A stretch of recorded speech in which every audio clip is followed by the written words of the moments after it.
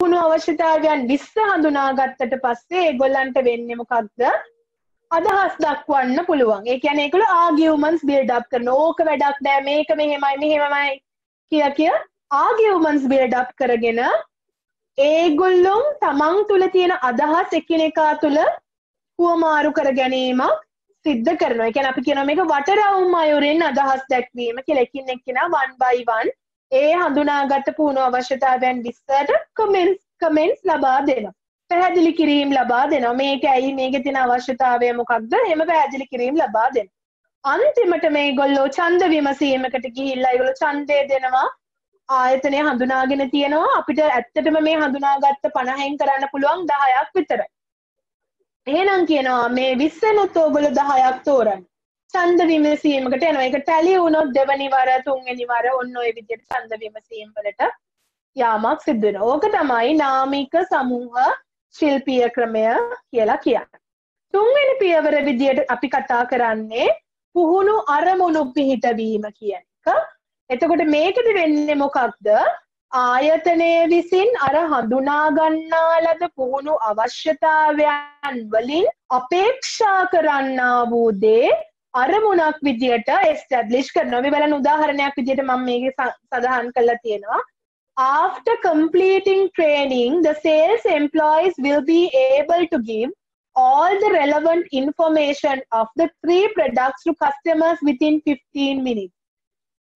දැන් අපි එක හඳුනාගත්ත පුහුණු අවශ්‍යතාවයක් තමයි ආයතනයේ අලුතෙන් ප්‍රොඩක්ට් එකක් ලෝන්ච් කරන්න හදනවා. එතකොට මේ ප්‍රොඩක්ට් එක ලෝන්ච් කරනකොට ඒ ප්‍රොඩක්ට් එක සම්බන්ධයෙන් පුහුණු වැඩසටහනක් ක්‍රියාත්මක කරන්න ඕනේ ආයතනයේ ඉන්න සේල්ස් එම්ප්ලොයිස්ලට විකුණුම් නිලධාරීන් සඳහා. එතකොට ඒ විකුණුම් නිලධාරීන්ට ඒ ට්‍රේනින් ප්‍රෝග්‍රෑම් එක දුන්නාම ඒකෙන් අපේක්ෂා කරන අරමුණ මොකක්ද? මේ ට්‍රේනින් ප්‍රෝග්‍රෑම් එක අවසානයේදී විකුණුම් නිලධාරීන්ට හැකි වෙන්න ඕන ආයතනයේ හඳුන්වා දෙන්නා වූ ප්‍රඩක්් තුන සම්බන්ධ හරි ස්පෙසිෆික් බලන්න relevant information of the three products මේක ඕනම් තව ස්පෙසිෆික් කරන්න පුළුවන් මොනවද මේ relevant information ප්‍රයිස් එක කන්ටෙන්ට් එක අන්න ඒ වගේ එක තවත් ස්පෙසිෆික් කරන්න පුළුවන් relevant information give all the information including price content of the product ඒ වගේ three products to customers within 15 minutes. Training programme එක අවසානයේදී මේක අසෙස් කල්ලා බලන්න පුළුවන්. මෙන්න ඕට අපේ තියෙන ත්‍රී ප්‍රඩක්ස් ආදැම් මම කස්ටමර් කියලා ඔයා හිතන්න. මෙයා මේ ඕමට මේ ප්‍රඩක්් එක සම්බන්ධයෙන් බ්‍රීෆ් කරන්න කොහොමද? අසෙස් කල්ලා බලන්න පුළුවන්. මේ පුද්ගලයා විනාඩි 15ක් ඇතුළත මේ ප්‍රඩක්් එක ගැන විස්තර කරාද?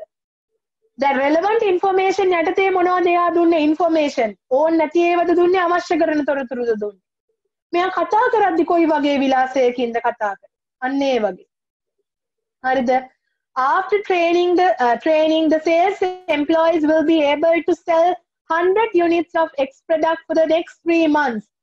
මේ ප්‍රෝග්‍රෑම් එක ඉවරුණාට පස්සේ sales employees ට sell කරන්න පුළුවන් වෙන්න ඕන 100 units of X products. ආයතනයේ යම්කිසි ප්‍රොඩක්ට් එකක් සම්බන්ධව 100ක් සෙල් කරන්න පුළුවන් වෙන්න ඕනේ for the next 3 months. ඉතිරි මාස 3 අතරතුරේදී unit 100ක් සෙල් කරන්න පුළුවන් වෙන්න. ඔන්න අරමුණු. මේවා හරි specific measurable achievable realistic time bound මෙ හරි ස්පෙසිෆික් අචීව් කරන්න පුළුවන් ළඟා කරගන්න පුළුවන් මනින්න පුළුවන්. රියලිස්ටික් හරිද? ටයිම් ෆ්‍රේම් එකක් කියනවා. 15 මිනිස් හරිද? ඔන්න ඕව තමයි පුහුණු අරමුණු කියලා අපි අදහස් කරන්න. හඳුනා ගන්නා ලද පුහුණු වැඩසටහනට මෙන්න මේ පුද්ගලයන්ගෙන් අපි අපේක්ෂා කරන පුහුණු අරමුණ මේකයි. හරිද? හතරවෙනි පියවර තමයි ඔන්න ඔය හඳුනා ගන්නා ලද පුහුණු අරමුණට අපි නිර්ණායක ස්ථාපිත කරන්න ඕන. දැන් උදාහරණයක් විදිහට ඔයගොල්ලෝ බලන්න මේක ලින්ක් කරලා තියෙන එක ඔබ්ජෙක්ටිව් එක තමයි After completing training, the sales the employees will be able to give all the relevant information of the three products to customers within 15 minutes. Training program එක අවසානයේදී විකුණුම් නිලධාරීන්ට ආයතනයේ විසින් හඳුන්වා දෙන ලද ප්‍රොඩක්ට් තුන සම්බන්ධයෙන් විනාඩි පහළවක් තුළ කස්ටමර්ස්ලට බ්‍රීෆ් කරන්න පුළුවන් වෙන්න ඕන ඕක තමයි අරමුණවෙන් ඔය අරමුණ කොච්චරක් දුරට සාර්ථක කරගත්තද නැද්ද කියන එක අපිට බලන්න පුළුවන්. ක්‍රයිටේරයා සහ ස්ටෑන්ඩඩ්ස් නිර්මාණය කිරීම මත නිර්ණායක සකස් කිරීම ඔස්සේ. තොට එක නිර්ණායකයක් තමයි time taken to give all the information. විකුණුම් නිලධාරීන් කොච්චරක වෙලාවක් ගත්තද මේ ඉන්ෆෝමේෂන් ටික දෙන්න. ඒක විනාඩි දොළහත් පහළවත් අතර නම් එක්සලන් දහයත් දොළහත් අතර නම් අවරේජ් හැබැයි මේක මෙයාට විනාඩි දහයකටත් වඩා මෙයාට මේක දෙන්න බැරි වුණන පුව. Amount of given information. මොන වගේ ඉන්ෆෝමේෂන්ස් දුන්නේ? ප්‍රඩක්් තුන සම්බන්ධයෙන්ම විස්තර කරාද විනාඩි පහළව තුළ? විනාඩි පහළව තුළ විස්තර කරේ ප්‍රඩක්් දෙක සම්බන්ධයෙන් විතරද? ප්‍රඩක් තුන සම්බන්ධයෙන් විස්තර කරේ නැද්ද? මොකක්ද වනේ ක්‍රයිටීරියයන් ස්ටෑනඩ් සදන්න පුළුවන්. මේ නිර්ණායක සකස් කිරීමෙන් අපිට හඳුනගන්න පුළුවන් අර ඔබ්ජෙක්ටිව් එක කොච්චරක් දුරට සාර්ථක කරගත්තද නැද්ද කියන කාරණාව. හරි දැන් ආයතනය අවශ්‍ය පුද්ගලයාට ලබාදිය යුතු පුහුණු වැඩසටහන මොකක්ද? ඒ පුහුණුව අවශ්‍ය වන්නා වූ පාර්ශවයන් කවුද? ඒක ඕගනයිසේෂන් ට්‍රේනින් එකක්ද? ජොබ් ට්‍රේනින් එකක්ද? මොකක්ද හඳුනගෙන තියෙන? ඒක ප්‍රාරටයිස් කරලා මෙන්න අපි මේ අවුරුද්ධ තුළදී දෙන ලබන ට්‍රේනින් ප්‍රෝග්‍රම්ස් මේකයි කියලා හඳුනගෙන තියෙන. ඒ ට්‍රේනිං ප්‍රෝග්‍රෑම් එකට වන් බයිවන් ආයතනය විසින් අරමුණු නිර්මාණය කල්ලා තියෙන හතරවෙනි පියවරේදී ඒ අරමුණ කොච්චරක් දුරට චීව් කරගත්තද නැද්ද කියන කාරණාව මනින්න ක්‍රයිටේරියාසා ස්ටෑන්ඩඩ්ස් නිර්මාණය කරගෙන තියෙන.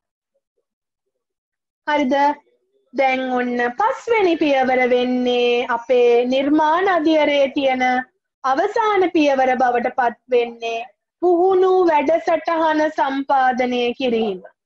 ආයතනය දන්නවා මොකක්ද මේකේ අරමුණ දෙන් ඒගොලන්ට පුළුවන් ඒක කන්ටෙන්ට් එක නිර්මාණය කරන්න හරි අපි ඕගලන්ට හැම්වෙලේම අපි හැම්වෙලේම් දැන් උදාහරණයක් විදිට ඕගල්ලන්ට එච්චාරෙන් වල කන්ටෙන්ට් එක අපි ඩිවලප් කරද්දි අපේ ඔළුවේ පළවෙනියෙන් වැඩ කරන කාරණාව තමයි what is the objective of this lesson? Training මේ training and development කියන එක lesson එක නිර්මාණය කරද්දි මම මොකක්ද ඕගලන්ගෙන් අපේක්ෂා කරන අරමුණ? ඒක මම ඕල්රෙඩි දන්නවද? එහෙනම් මට කන්ටෙන්ට් එක හදන්න පුළුවන්.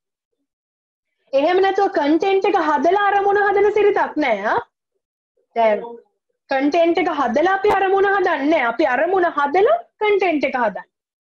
අරමුණ මගේ අතේ තියෙනවා. ඒ අරමුණ මනින්නේ කොහොමද කියලා මම දන්නවා. එහෙනම් කන්ටෙන්ට් එක හැදුවා. දැන් ඕක ගොඩක් වෙලාවට ආයතනවල වෙන්නේ මොකක්ද?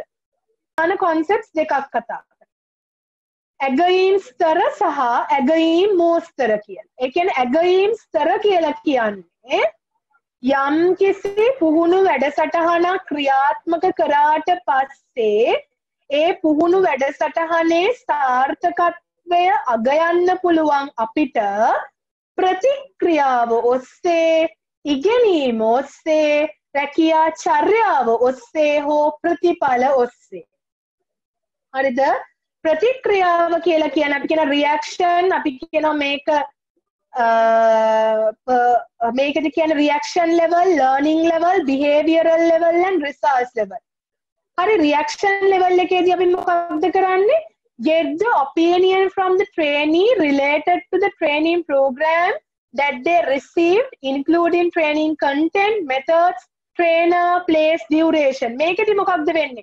Immediately after the training program training program එක ඉවර වෙච්ච ගමන්ම question එකක් දෙනවා. Content එක ගැන ඔයගොල්ලෝ මොකද හිතන්නේ? තන ගැන මොකද හිතන්නේ? trainer ගැන මොකද හිතන්නේ? එයාගේ ප්‍රොජෙක්ෂන් එක ගැන මොකද හිතන්නේ? එයාගේ eye contacts ගැන මොකද හිතන්නේ? එයා use කරපු examples ගැන මොකද හිතන්නේ? Immediately after the training program training program එක ඉවර වුණ සැනින් trainees ලට දෙනවා. ඕගොල්ලෝ මොකද හිතන්නේ මේ training program එක ගැන? එක ක්වෙස්චනයා එකක් වෙන්න පුළුවන් ඉන්ටර්විය් එකක් ඕගොල්ලෝ කන්ඩක්ට් කරනවා වෙන්න දෙවනි විදිය තමයි ටික කාලයක් ගිහිල්ලා ඉවරුණාට පස්සේ පොඩි එක්සෑම් එකක් දෙනවා. එහෙම නැත්නම් පොඩි ස්කිල් බිල්ඩින් එක්සර්සයිස් එකක් දෙනවා. මොකටද ඒක දෙන්නේ? අපි measuring the extent to which trainees learn from the training program. කොච්චරක් දුරට මේ පුද්ගලයන් ලබා දුන්න ට්‍රේනින් එකෙන් යම් දෙයක් ඉගෙනගෙන තියෙනවද? ලර්නින් එක ඇසෙස් කරන්න. එක්සෑම් එකක් දීලා අහනවා. ආයතන පොඩි ප්‍රශ්නාවලියක් දෙන ප්‍රශ්නාවලිය පුද්ගලයන් ඒකට උත්තර ලියන්න ඕන අර ඉගෙනගත්තු දේවල් පාවිච්චි කළා උදාහරණයක් විදිහට මේ එක්සෑම් එකේ තියෙන එක්සෑම් පේපර් එකේ ක්වෙස්චන් එකක් විදිහට තියෙනවා ආයතනයේ ප්‍රොඩක්ට් ඒක නිෂ්පාදනය කිරීමේදී යොදා ගන්නා ලද ඉන්ග්‍රීඩියන්ට්ස් මොනවද ප්‍රඩක්් ඒක අපි ෆෝකස් කරන මාකට්ස් මොනවද අර ඉගෙන ගත්තු දේවල් පුද්ගලයා ප්‍රයිස් එකක් අපි මාක ප්‍රයිස් එක නිර්මාණය කිරීමේදී අපි යොදාගන්න සාධක මොනවද? මාක ප්‍රයිස් එක ඩිටර්මයින් වෙන සාධක මොනවද? ඉගෙනීම ලර්නින් කොච්චරක් දුරට එයා ඉගෙනගෙන තියෙන තුන්වෙනි කාරණාව තමයි අපි ඇසෙස් කල්ල බලන්න ඕන රැකියා චර්යා. කොච්චරක් දුරට මේ පුද්ගලයා ඉගෙනගත්තු දේවල් තමන්ගේ බිහේවිය එක චේන්ජ් කරන්න යස් කරගෙන තියෙනවද? දැන් මෙයාට අපි ප්‍රසන්ටේෂන් ස්කිල් එක ඩිවලප් කරන්න නම් අපි මෙයාට ට්‍රේනින් එක දුන්නේ. ට්‍රේනින් ප්‍රෝග්‍රෑම් එකේ ටික කාලයක් ගිහිල්ලා අපිට මෙයාට මොකක් හරි ප්‍රොජෙක්ට් එකක් දෙන්න පුළුවන් ප්‍රසන්ටේෂන් එකක් කරන්න. ප්‍රසන්ටේෂන් එක කරනකොට අපි බලනවා මෙයා මේ ඉගෙනගත්තු දේවල් මෙයා අප්ලයි කරලා තියෙනවා. ඩාර්ක් කලර්ස් යූස් කරලා නැහැ ස්ලයිස් කලටර් නෑ කලර්ස් යස් කරද්දි මෙයා හොඳයි ප්‍රසන්ටේෂන් එක කරද්දි මෙයා හොඳට ප්‍රසන්ටේෂන් එක කරනවා.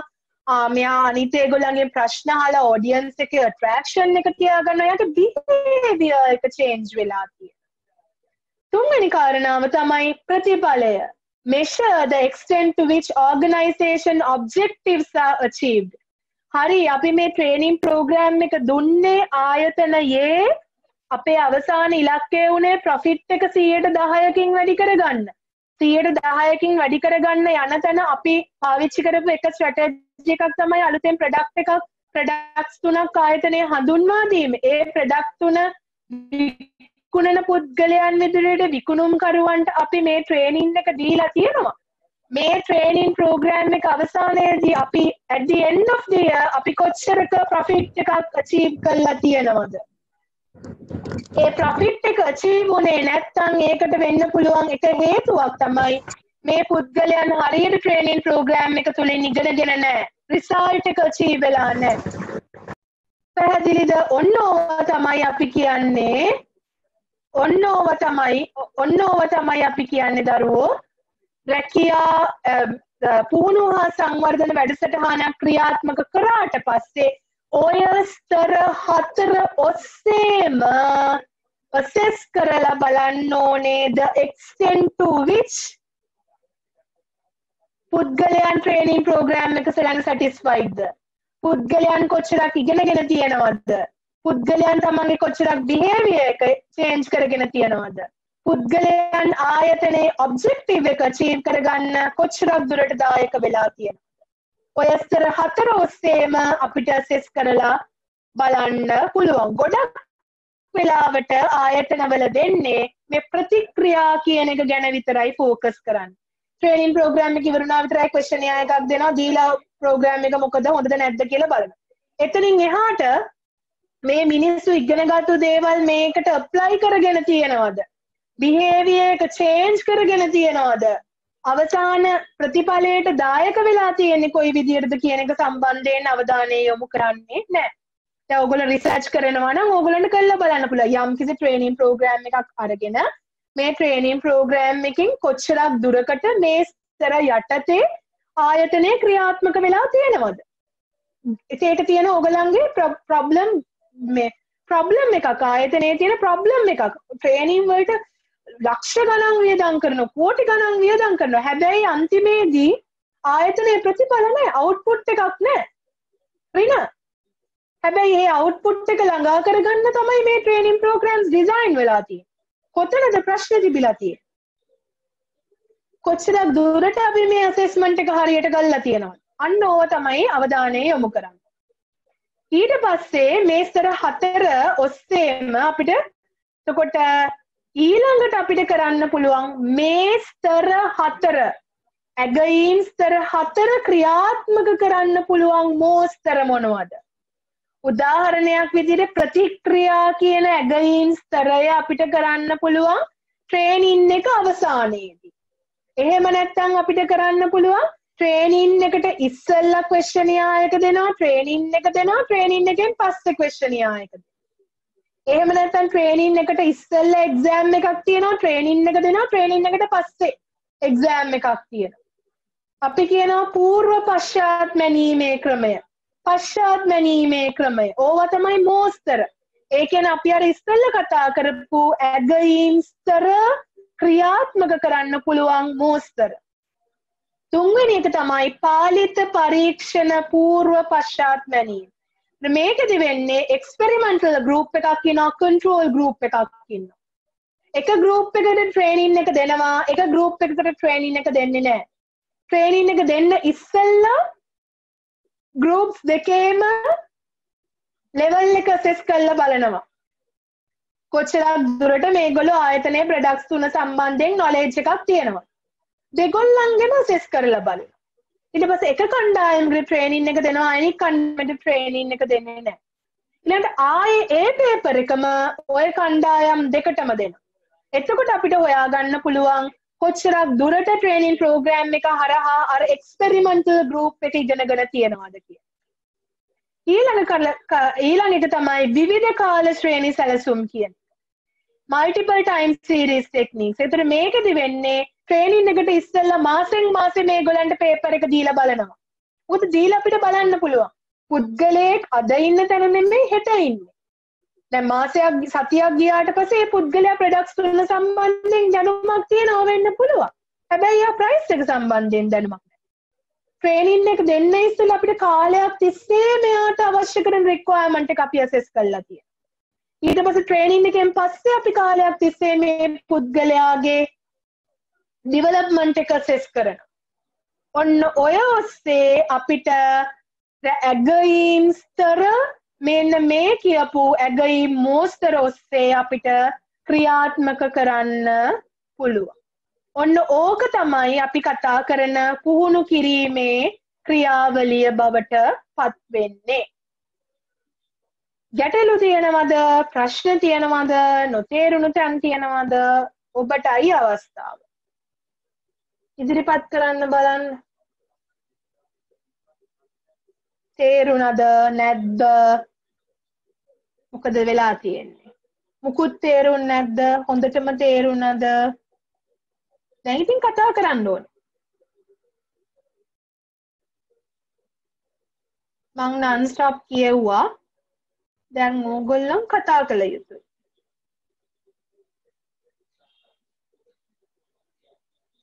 ප්‍රශ්නය ගැටලු නැද්ද ඔයගලන්ට මොකද? හොඳටම තේරුණාද? අපි හඳුනගත් ආයතනයක් කියලා අපි හැඳින්නුවා පුද්ගලයන් දෙදෙනෙකුට වඩා වැඩි කණ්ඩායමකින් සමන්විත වෙච්ච යම්කිසි නිශ්චිත අරමුණක් වෙනුවෙන් ක්‍රියාත්මක වන්නා වූ ඒකකයක් කියන්නේ. එතකොට මේ ආයතනවල ප්‍රධාන අරමුණ බවට පත් උනේ අරමුණ විය යුත්තේ ප්‍රයිමරි ඔබ්ජෙක්ටිව් එක වෙන්න ඕන මිනිස් අවශ්‍යතා සහ උවමනා ඉටු කිරීම තුළින් මිනිසාගේ ජීවන තත්ත්වය උසස් කිරීම එහෙම නැත්නම් අපි කියන ස්ටෑන්ඩඩ් ඔෆ් ලිවිං එක වැඩි කරනවා කියන එක. එතකොට මේ මිනිස් අවශ්‍යතාවයන් සහ උවමනාවන් ඉෂ්ට කරන්න නම් ඒ ආයතනය විසින් බාණ්ඩයක් හෝ සේවාවක් නිෂ්පාදනය කරන්න ඕන. අපි කිව්වා එක බාණ්ඩ හෝ සේවා කියලා කියන්නේ අවුට්පුට් එක කියලා. ඒ බාණ්ඩ හා සේවා නිෂ්පාදනය කරන ගමනේදී ඒ ආයතන විසින් යොදා ගනු ලබනවා විවිධ සම්පත්. මොනවද අපි කෝන් වල කතා කරන සම්පත් නෙමෙයි අපි මැනේජ්මන්ට් වල කතා කරන්නේ අපි කියනවා seven names කියලා. man money machine materials methods ඔන්න ඔය වගේ M කාරණාවන් හතක් සම්බන්ධයෙන් අපි පසුගිය සති කීපය තුලදීම කතා කරා. එතකොට ඔය M වලින් තියෙන සුවිශේෂීම M එක තමයි man කියන එක. මොකද අපි මේ man අද අපි කිව්වා ඒක අපි මානව සම්පත් කළමනාකරන විෂයට අදාළ කරගත්තොත් මානව සම්පත තමයි ආයතනයේ තියෙන්නා වූ සුවිශේෂීම සම්පත වෙන්නේ. ඒක අවිවාදයෙන් යුක්තව අපි පිළිගන්න ඕන කාරණාව. ඒකට හේතුව තමයි ආයතනයේ ඇති අනෙකුත් සියලුම සම්පත් මෙහෙවනු ලබන්නේ මානව සම්පත විසින්. අනෙකුත් සියලුම සම්පත් කියලා කිව්වේ මුදල් ගත්තත් ආයතනයේ තියෙන ප්‍රොසෙසර්ස් ගත්තත් මාකටිං කොන්සෙප්ට්ස් ගත්තත් ඔය ඔක්කොම දේවල් මෙහෙවන්නේ මානව සම්පත කියන ඒකකය තුලින්.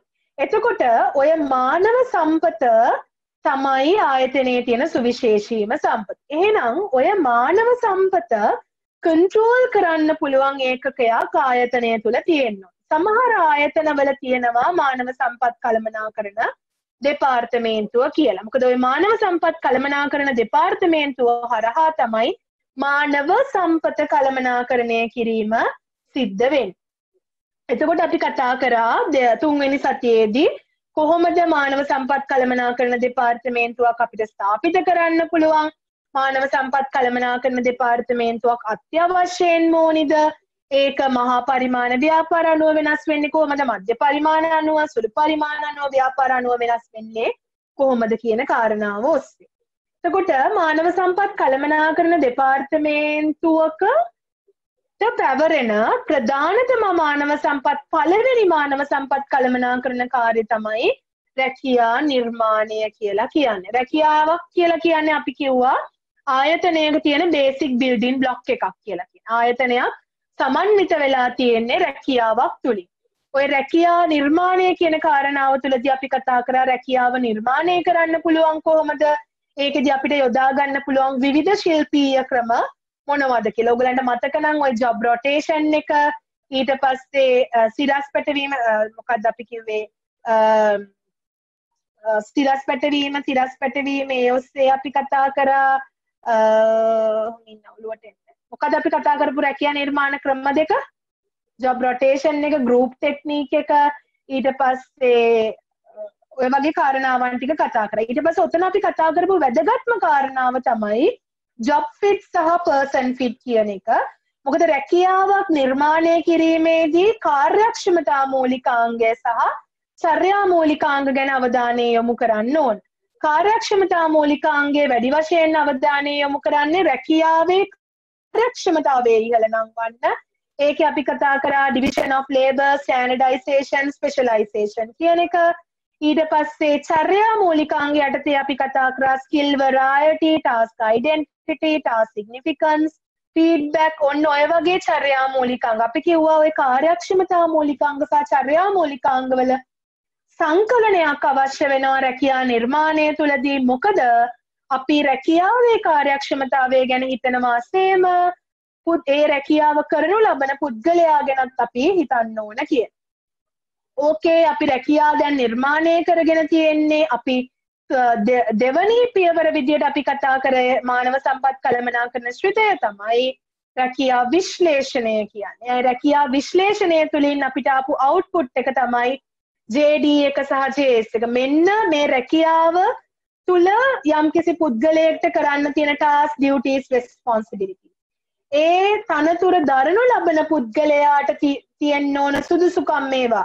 මෙන්න යාගේ ඩියුකේෂන් එක මෙච්චරක් තියෙන්න ඕනේ යාට එක්ස්පීරියන්ස් මෙච්චරක් තියෙන්න ඕනේ ක්වොලිෆිකේෂන්ස් මේවා ස්කිල්ස් මේවා අවශ්‍ය කරන්නේ නොය දේවල් ඊට පස්සේ තුන්වෙනි මානව සම්පත් කළමනාකරන ශ්‍රිතයේ විදිහට අපි කතා කරේ මානව සම්පත් සැලසුම් කරණය කියන එක. අපි මානව සම්පත් සැලසුම් කරණයේදී කිව්වා ආයතන විසින් රැකියාවන් නිර්මාණය කරාට පස්සේ අපි ආයතනය හඳුන ගන්න ඕන අනාගතයේ අවශ්‍ය කරන මානව සම්පත අපි වර්තමානයේ පුරෝකතනය කරන.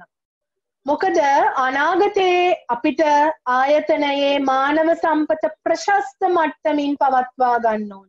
හිංගයක් හෝ අතිරිත්තයක් නැතුව. එතකොට අපි එතනදි කතා කරා මානව සම්පත් සැලැස්ම තමයි මානව සම්පත් සැලසුම් කරන්නේ අවුට්පුට් එක වෙන්නේ. එතකොට ඒ සැලැස්ම තුළ අන්තර්ගත වෙනවා හිංගයක් තියෙනවා නම් අපි මොන වගේ ස්ටෙප් ස්ටෙප් අනුගමනය කරන්න හිංගයි කියලා කියන මිනිස්සු මධ්‍යී තව ඕනේ අනාගතය අපිට මේ රිටායමන්ට් එකක් එනවා. එහෙනම් අපි අලුතෙන් සේවකයන් බඳව ගන්න ඕනේ. එහෙම නැත්නම් අතිරික්තයක්ද තියෙන්නේ? සේවකයෝ. ඒ ඇයි වැඩි වැඩි වෙලා තියෙන සේවකයෝ? අපි ප්‍රොඩක්ෂන් ලයින් එක ඔටෝමේට් කරලා. ඒ නිසා තමයි සේවකයෝ අපිට මේ වැඩි වෙලා තියෙන්නේ. හරි.